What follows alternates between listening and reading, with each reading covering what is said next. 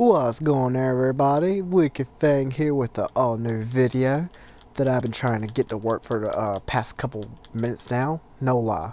This is literally my fourth video that I am making for this because my PS4 does not want to work properly. It wants to give me a hard time. But yes, like I've been saying, I was supposed to be doing a uh, gameplay of Call of Duty Black Ops 3, but that game was just too amazing. So amazing that even I couldn't handle it. And if I couldn't handle it, you guys couldn't handle it. I hear my head. so yes, I will be having a good thing for y'all. But I need y'all to do me one little favor. Just one teasy favor. Close your eyes. Close your eyes. Close your eyes. Are they closed? Are you sure? Are you sure they're closed? Are you sure that they're closed? Are you sure? You positive?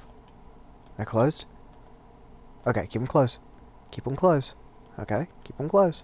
Three, two, one. Ta-da!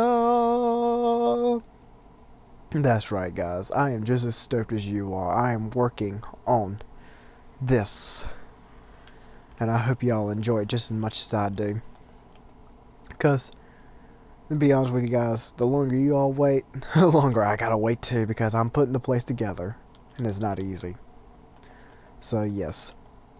Tell me what you guys think. Leave a comment down below. And tell me how stoked you all are just like me.